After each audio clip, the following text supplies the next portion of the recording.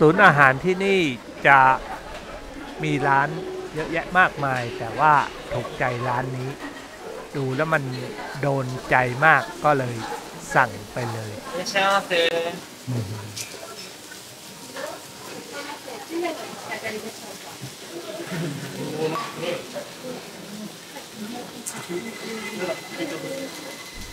มันดูน่ากินมาก มากมาย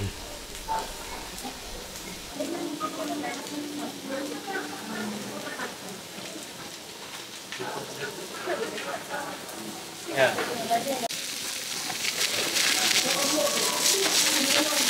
อันนี้ไปผิงให้สุกก่อน